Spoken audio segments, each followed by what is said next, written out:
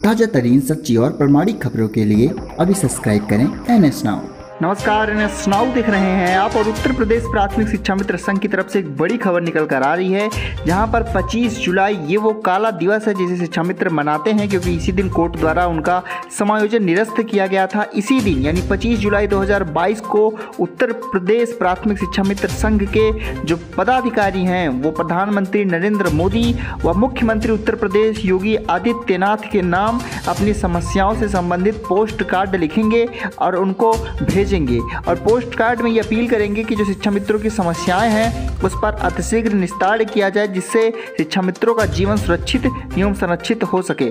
उत्तर प्रदेश प्राथमिक शिक्षा मित्र संघ के समस्त पदाधिकारी इस अभियान में अधिक से अधिक लोगों को जोड़ेंगे और इस कार्यक्रम को सफल बनाने के लिए प्रयास करेंगे।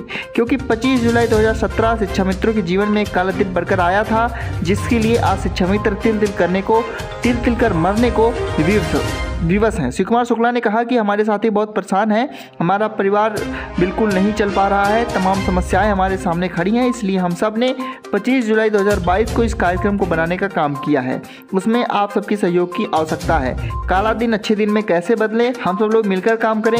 यही हमारी आपसे अपील है। आप शिव कुमार शुक्ला, उत्तर प्रदेश प्राथमिक शिक्षा मित्र संघ का प्रदेश अध्यक्ष। तो शिव कुमार शुक्ला की तरफ़ से ये अपील की गई है। साथ ही ये जानकारी भी दी गई है कि पच्चीस जुलाई दो हज़ार बाईस को शिक्षा मित्रों की तरफ़ से प्रधानमंत्री नरेंद्र मोदी और योगी आदित्यनाथ जी को शिक्षा मित्रों की समस्याओं का अतिशीघ्र निस्तार करने के लिए पत्र भेजा जाएगा। इस पर अपनी राय कमेंट बॉक्स में ज़रूर बताएँ। मिलते हैं अगली न्यूज़ में। तब तक के लिए जय हिंद, जय भारत। नमस्कार।